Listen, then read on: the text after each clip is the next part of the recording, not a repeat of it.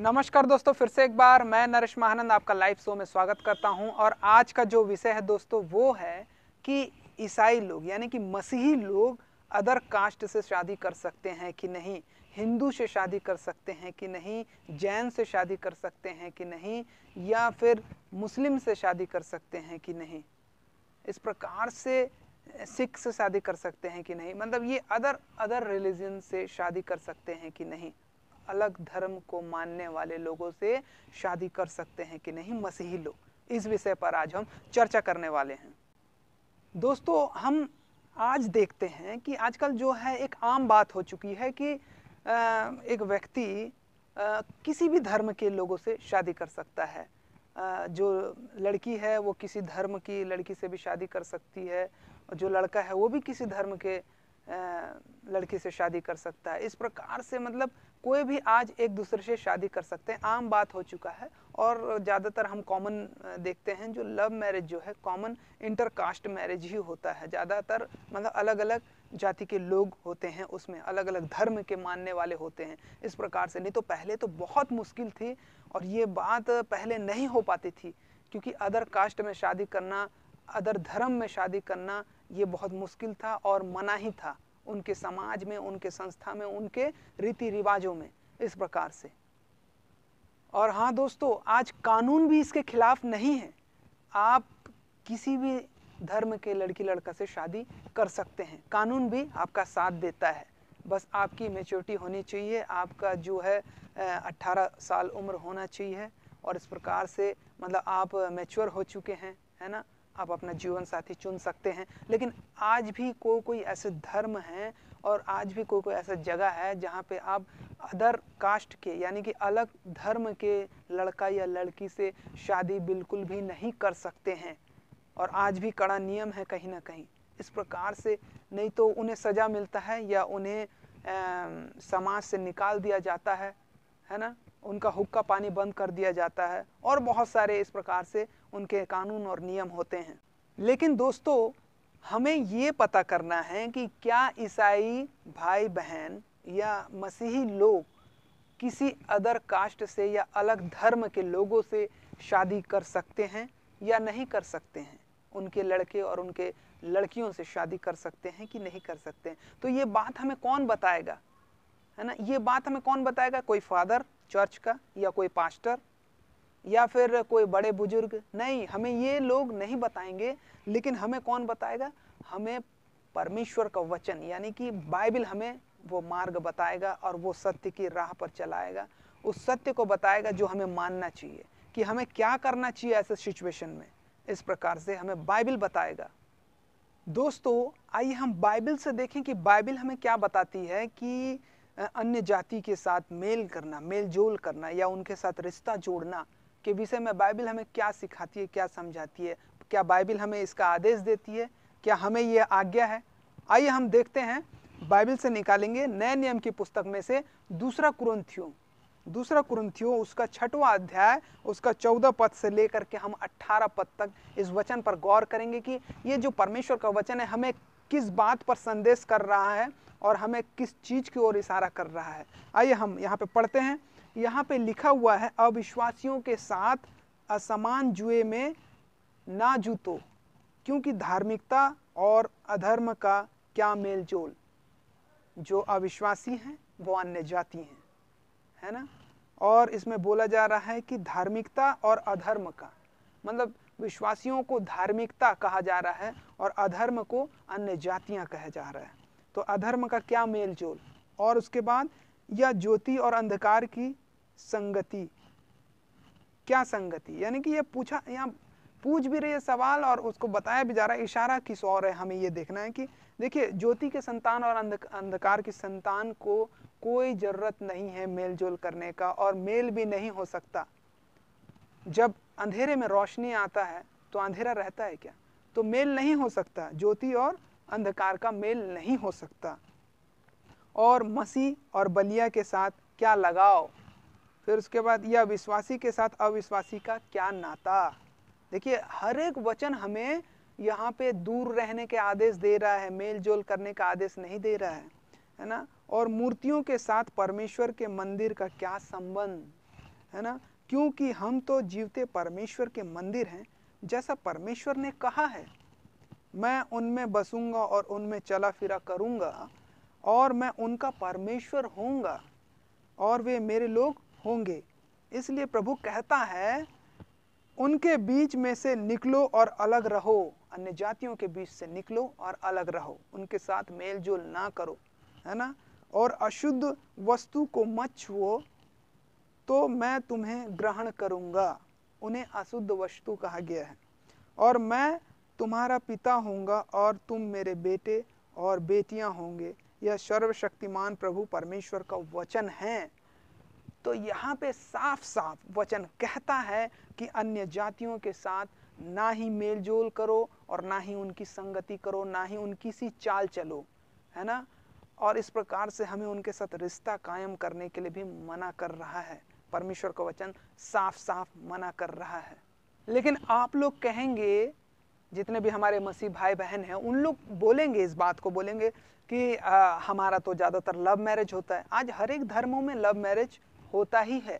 धर्मों की बात नहीं हो रही है। यहाँ पे लव मैरिज की बात हो रही है क्योंकि आज बहुत सारे लोग सवाल करते हैं अगर वो अदर कास्ट से लव मैरिज कर चुके हैं अगर अदर रिलीजियस मैंने धर्म से लव मैरिज हो गया है अलग धर्म का व्यक्ति है लड़का है या लड़की है तब हम कैसे करें? क्या सिचुएशन रहेगा? उतना समय क्या आ, हमारे पास एक शर्त रहेगा? वहाँ पे एक शर्त ये है कि अगर आप उनसे प्यार करते हैं, सच्चा प्यार करते हैं और शादी करना चाहते हैं, घर बसाना चाहते हैं तो यहाँ पे पॉइंट उसका नहीं है। शादी करने या घर बसाने का बात नहीं है। पॉइंट है यहाँ पे कि यहाँ पे मतलब आपका आत्मिक जीवन तबाह नहीं होना चाहिए।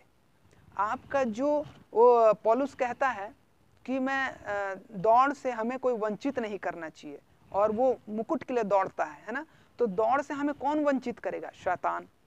और हम दौड़ किस चीज़ के लिए रहे हैं? अनंत जीवन, स्वर्गीय मुकुट उद्धार और मोक्ष के लिए, है ना? उस चीज़ के लिए दौड़ रहे हैं। मसीही भाई बहनों का ये दौड़ है और एक आत्मिक जीवन का एक एम्बिशन है, एक एम है, एक लक्ष्य है। तो इस लक्ष्य को आप इस सांसारिक जीवन के लिए तबाह ना करें।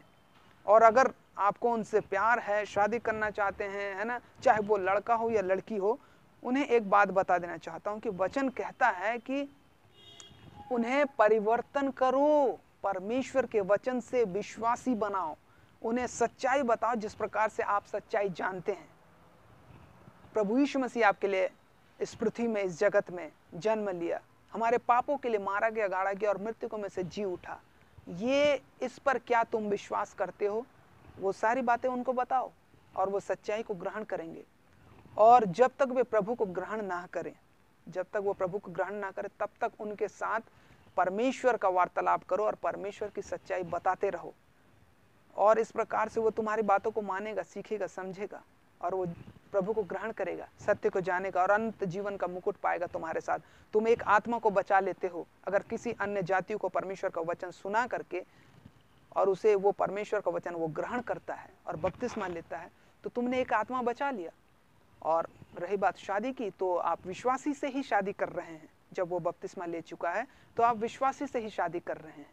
यहाँ अन्य जाति वाली बात तो खत्म हो गई, क्योंकि वो प्रभु यीशु मसीह का विश्वासी बन चुका है।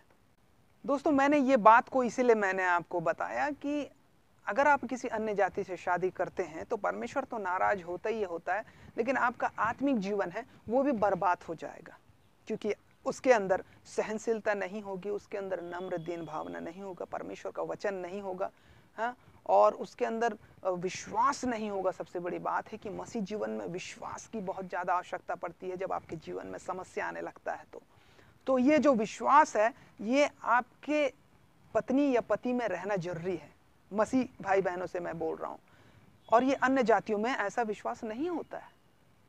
लेकिन आप उसको प्रभु में ला लिए हैं, प्रभु का वचन सुनाते हैं। आपके पास टाइम पीरियड रहता है, एक साल, दो साल शादी करने का, अगर हो गया है तो है ना? हाँ भाग के शादी कर रहे हैं तो उसके लिए हमारे पास कोई ऑप्शन नहीं है है ना? हाँ अगर अरेंज मैरिज हो रहा है लव मैरिज हो चुका है और अरेंज मैरिज हो रहा है उसमें लव एंड अरेंज हो रहा है तो आप उसमें उसको परमेश्वर का वचन सुना कर बता करके जता सकते हैं। जब, क्योंकि अगला व्यक्ति तुम्हारे साथ जीवन साथी बन रहा है, मरते दम तक वादे और कस्में खाएगा और वो तुम्हारे साथ सुख दुख में साथ देगा तो तुम्हारे साथ अनंत जीवन के उस राह पर चलने के लिए साथ क्यों नहीं देगा? अब फोकट का कहाँ दे रहा है? उसको भी तो वो अनंत जीवन का मुकुट मिलेगा और वो सत्य को जानेगा और परमेश्वर का पुत्र कहलाएगा। तो हमें अगर शादी करना है किसी अन्य जाति भाई बहनों से तो हमें क्या करना पड़ेगा? सबसे पहली बात, हमें सच्चाई बताना पड़ेगा, परमेश्वर का वचन बताना पड़ेगा और वो ग्रहण करेगा उस सच्चाई को। और वो एक विश्वासी बन जाएगा, वो एक मसीह बन जाएगा और वो आपको मसीह जीवन में जीने का साथ देगा। दोनों मसीह जीवन में जी सकते हैं। और दोनों विश्वास में परिपक्व हो सकते हैं और हर एक परेशानी से निजात पा सकते हैं, मुक्ति पा सकते हैं। और परमेश्वर ऐसे जोड़े को और आशीष देता है। तो इस प्रकार से आप शादी कर सकते हैं। दोस्तों, मैंने ये बात को इसीलिए मैंने आपको बताया कि अगर आप किसी अन्य जाति से शादी करते हैं तो परमेश्वर तो नाराज़ होता ही होता है, लेकिन आपका आत्मिक जीवन है, वो भी बर्बाद हो जाएगा। क्योंकि उसके अंदर सहनशीलता नहीं होगी, उसके अंदर नम्र दीन भावना नहीं होगा, परमेश्वर का वचन नहीं होगा हाँ? और उसके अंदर विश्वास नहीं होगा। सबसे बड़ी बात है कि मसीह जीवन में विश्वास की बहुत ज़्यादा आवश्यकता पड़ती है जब आपके जीवन में समस्या आने लगता है तो। तो ये जो विश्वास है, ये आपके पत्नी या पति में रहना ज़रूरी है। मसीह भाई बहनों से मैं बोल रहा हूँ। और ये अन्य जातियों में ऐसा विश्वास नहीं होता है। लेकिन आप उसको प्रभु में ला लिए हैं प्रभु का वचन सुनाते हैं। आपके पास टाइम पीरियड रहता है, एक साल, दो साल शादी करने का, अगर हो गया है तो है ना? हाँ भाग के शादी कर रहे हैं तो उसके लिए हमारे पास कोई ऑप्शन नहीं है है ना? हाँ अगर अरेंज मैरिज हो रहा है लव मैरिज हो चुका है और अरेंज मैरिज हो रहा है उसमें लव एंड अरेंज हो रहा है तो आप उसमें उसको परमेश्वर का वचन सुना कर बता करके जता सकते हैं। जब, क्योंकि अगला व्यक्ति तुम्हारे साथ जीवन साथी बन रहा है, मरते, दम तक वादे और कस्में खाएगा और वो तुम्हारे साथ सुख दुख में साथ देगा तो तुम्हारे साथ अनंत जीवन के उस राह पर चलने के लिए साथ क्यों नहीं देगा? अब फोकट का कहाँ दे रहा है? उसको भी तो वो अनंत जीवन का मुकुट मिलेगा और वो सत्य को जानेगा और परमेश्वर का पुत्र कहलाएगा। तो हमें अगर शादी करना है किसी अन्य जाति, भाई बहनों से तो हमें क्या करना पड़ेगा? सबसे पहली बात, हमें सच्चाई बताना पड़ेगा। परमेश्वर का वचन बताना पड़ेगा और वो ग्रहण करेगा उस सच्चाई को। और वो एक विश्वासी बन जाएगा, वो एक मसीह बन जाएगा और वो आपको मसीह जीवन में जीने का साथ देगा। दोनों मसीह जीवन में जी सकते हैं और दोनों विश्वास में परिपक्व हो सकते हैं और हर एक परेशानी से निजात पा सकते हैं, मुक्ति पा सकते हैं। और परमेश्वर ऐसे जोड़े को और आशीष देता है। तो इस प्रकार से आप शादी कर सकते हैं। तो दोस्तों, आज हमने सीखा कि एक अन्य जाति से हम शादी कैसे कर सकते हैं, या करना चाहिए कि नहीं करना चाहिए। जिस प्रकार से वचन कहता है, इसी प्रकार से हमारे नए नए वीडियो को आप देखते रहें। ज़्यादा से ज़्यादा शेयर करें सब्सक्राइब करें लाइक करें और अपने जीवन को और बेहतर बनाने के लिए हमारे वीडियो को दिन और रात देखते रहें और परमेश्वर का वचन को और सीखें। हमारे नए नए वीडियो आएँगे और हमारा चैनल को आप लोगों को बता सकते हैं और आपके मुँह से, आपके ज़ुबान से लाइव शो का प्रचार होगा। यानी कि आप परमेश्वर के वचन को, सत्य को दूसरे को बता रहे हैं। दोस्तों, हमारा वेबसाइट है, आप हमारे वेबसाइट में जा सकते हैं। Live show dot co dot in है। और उस वेबसाइट में जा करके आप ऑनलाइन बाइबल क्लास कर सकते हैं कोरस्पोंडेंट बाइबल क्लास भी कर सकते हैं और मोटिवेशन क्लास भी कर सकते हैं। और इस प्रकार से आप तीन साल का डिग्री बाइबल ट्रेनिंग कोर्स भी बाइबल कॉलेज में आकर के हमारे पास कर सकते हैं।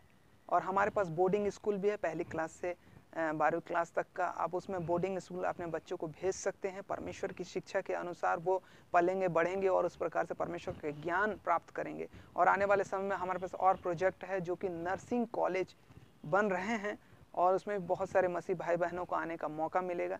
इस प्रकार से आप हमारे साथ जुड़ करके परमेश्वर की महिमा कर सकते हैं। दोस्तों, आप हमें हमारे व्हाट्सअप नंबर पे चैट कर सकते हैं। हमारा व्हाट्सअप नंबर है और हमारा ईमेल आईडी नंबर है। आप हमें मेल कर सकते हैं। और इस प्रकार से हमारे साथ जुड़ करके परमेश्वर की महिमा कर सकते हैं, हमारे हेल्प ग्रुप में जुड़ करके। क्योंकि दोस्तों, हमारा हेल्प ग्रुप जो है वचन के अनुसार, जैसे कि प्रभु यीशु मसीह ने कहा है, जब मैं भूखा था, मैं नंगा था, मैं प्यासा था, मैं हॉस्पिटल में मतलब मरीज़ था, मैं मतलब बीमार पड़ा था, मैं बंदीगृह में था मतलब जेल में। तो इस प्रकार से उनके पास जा करके हमें सेवा करना है, परमेश्वर के वचन के अनुसार, हेल्प ग्रुप के अनुसार। ये काम हम करते हैं। तो इस प्रकार से अगर आप हमारे साथ जुड़ करके परमेश्वर की सेवा करना चाहते हैं तो स्वेच्छा अनुसार आप हमें आ, हर महीने का डोनेशन हमारे अकाउंट नंबर में आप सेंड कर सकते हैं। स्वेच्छा अनुसार सौ रुपये से शुरुआत करें और अपने जीवन को परमेश्वर के इच्छानुसार ढालें क्योंकि वचन में लिखा है जो गरीबों और अनाथों को देता है वो मुझे देता है। तो प्रभु यीशु मसीह बोलते हैं जो उनकी सेवा करता है इन छोटे में से छोटे में से जो छोटे में से छोटे लोगों के साथ जो करता है वो मेरे साथ करता है। जहाँ तेरा धन होगा वहाँ तेरा मन होगा। स्वर्ग में धन इकट्ठा कर जहाँ ना तो कीड़े ना तो काई लगते हैं। तो इस प्रकार से वचन हमें सिखाता है समझाता है कि किस प्रकार से हम एक दूसरे की मदद कर सकते हैं। दोस्तों और एक सबसे बड़ी खुशखबरी ये है कि आप लोग मुझसे मिल सकते हैं मुझसे परमेश्वर का वचन का ज्ञान सीख सकते हैं। जबकि मैं अगले महीने फरवरी को 14-15 को आ, सेक्टर 24 चंडीगढ़ में आ रहा हूँ इंदिरा हॉलीडे में। आप वहाँ पे आ सकते हैं रजिस्ट्री करवा सकते हैं अपना। और ये दो दिन का जो मीटिंग है, इसमें कॉन्फ्रेंस मीटिंग जो है, ये north India Bible preacher lectureship के तरफ़ से हो रहा है। और वहाँ पे आप आ कर के परमेश्वर के वचन को सुन सकते हैं, आप सभी को आमंत्रित है। और वहाँ पे भोजन का भी सुविधा है, रहने और सोने का भी इंतज़ाम किया गया है। आप सभी आकर के परमेश्वर के वचन में शामिल हो सकते हैं। दोस्तों, मैं स्क्रीन पे सारे डिटेल डाल दिया हैं। और आप कांटेक्ट कर सकते हैं और अगले महीने मिलने के लिए मुझसे आ सकते हैं। इसी प्रकार से हमारे वचन को सुनते रहिए, हमारे चैनल को सब्सक्राइब करें और शेयर करें लाइक करें और कमेंट्स करें और परमेश्वर के साथ कार्य करने के लिए हमारे साथ जुड़े और परमेश्वर की महिमा करें। और नए नए वीडियो के साथ हम मिलते रहेंगे। तब तक के लिए हम आपसे अलविदा लेना चाहते हैं। परमेश्वर आप सभी को आशीष दे। नमस्कार। Good bye